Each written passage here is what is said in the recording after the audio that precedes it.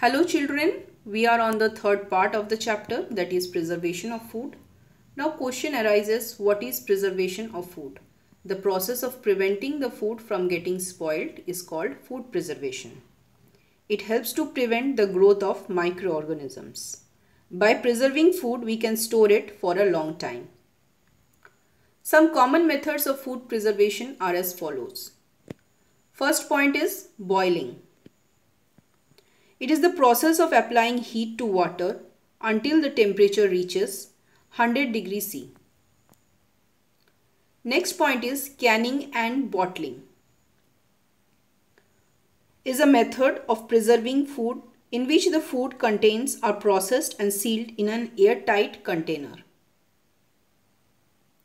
Next is salting.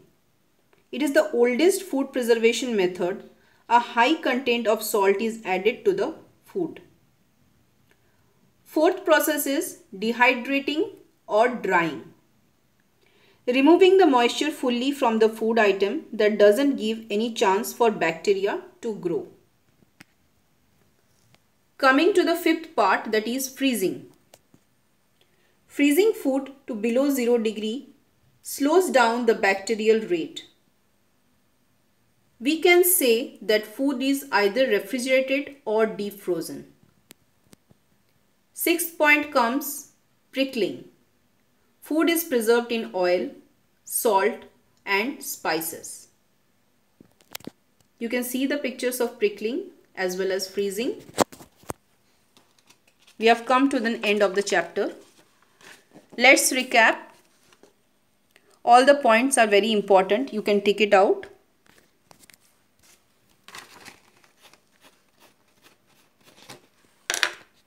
First point is all living things need food to survive. We eat raw as well as cooked food.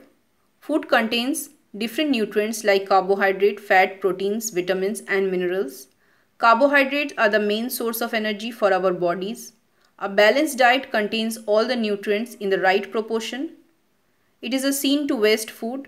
The process of preventing food from getting spoiled is called preservation. Coming to the exercises, the first point, tick the correct option. Essential substances present in the food are nutrients. Which among the following is a good source of protein? Milk. Most of the body is made of water. In prickling, food is preserved in oil. We should wash fresh foods in water. Fill up the blanks. All living beings need food to survive. All food that contains sugar or starch are called carbohydrates. Proteins are the bodybuilding nutrients. 4 number vitamins and minerals are known as protective foods. Most of the body is made of water. Coming to match the following part. Food is matched with fuel of the body. Fats is matched with giving energy and warmth. Third one, corn cob is matched with roughage. Bread is matched with starch-rich food.